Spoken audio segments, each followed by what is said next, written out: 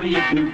We hope you have a moment or two to listen to what we have to say to each and every one of you. It concerns our postal system.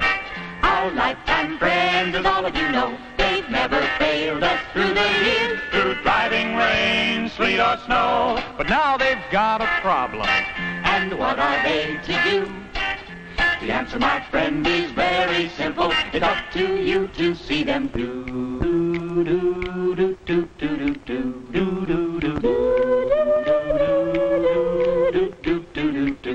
Well, back in the days of the 13 colonies, cry was freedom and how to defend it. Mailing a letter wasn't much trouble. There weren't too many places to send it, but now it's a different story. They've got more mail than ever before. It's stuffed in bags, stacked on shelves. There's hardly room for anything more. There's been a mail explosion. They've got a terrible load. You've got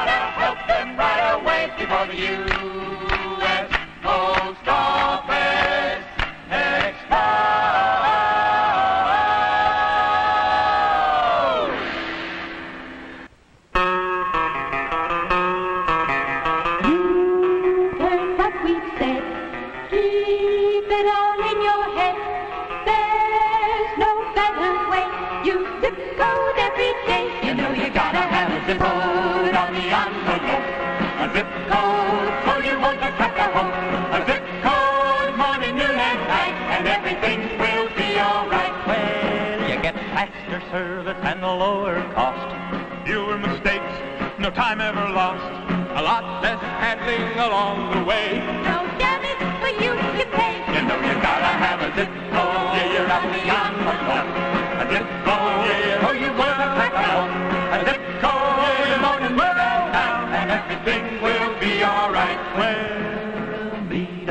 fella called Mr. Zip. What he can do for you will really make you flip. So if you have any further postal demands, we're gonna leave you in his hands. You know you gotta have a zip code. Yeah, you gotta have a zip code. Yeah, you gotta a zip code. And morning will night, and everything will be alright. And now, my friend, We'll say so long we hope. Our zip code star. We've told you everything we know. It's up to you to make zip code go. You know you gotta have a zip code. Yeah, a zip code.